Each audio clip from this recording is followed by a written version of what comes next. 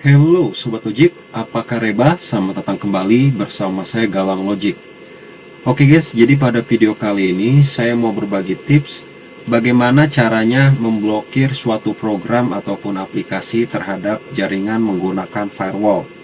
Ya di sini saya akan berikan cara yang paling termudah untuk semua Windows Baik itu PC ataupun laptop Yaitu menggunakan aplikasi Nah untuk aplikasinya Anda bisa download di bawah. Dia berupa zip.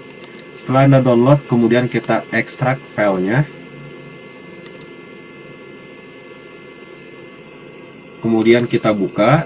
Nah di sini ada dua guys ya. Pubxc dan pubx64 ya jadi sesuaikan ya. Kalau anda menggunakan 32 bit anda gunakan yang pubxc tapi kalau laptop atau PC Anda menggunakan Windows 64 bit, Anda menggunakan pubx64.exe. Kita double klik aja.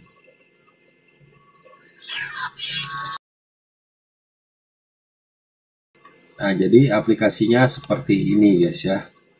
Nah, kemudian Anda tinggal cari aplikasi mana yang mau Anda kasih firewall. Misalnya aja saya akan uh, tambahkan Asus ini guys ya. Kita right klik aplikasinya, kemudian kita pilih Open File Location. Kemudian Anda klik sembarang pada bagian directory dari aplikasi ini guys ya, di sini.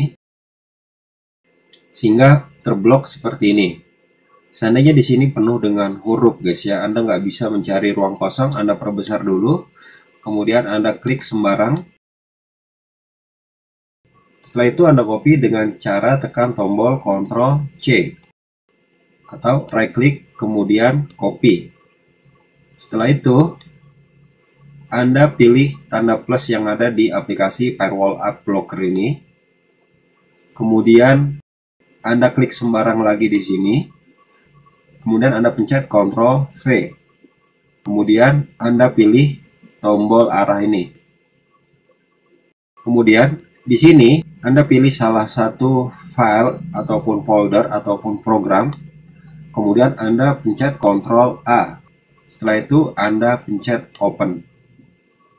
Nanti secara otomatis aplikasi ini akan mencari file exe aja guys ya. Nah, jadi hanya ada file exe aja. Nah, itulah gimana cara mudahnya memberikan firewall ataupun memblokir suatu program atau aplikasi menggunakan firewall di semua Windows, baik itu PC ataupun laptop. Oke guys, mungkin sekian dulu video dari saya. Semoga video ini bermanfaat. Kalau merasa video ini bermanfaat, silakan Anda share ke teman-teman kalian supaya bisa lebih bermanfaat lagi bagi orang banyak. Sampai ketemu di video selanjutnya. Say no drugs and think all with logic.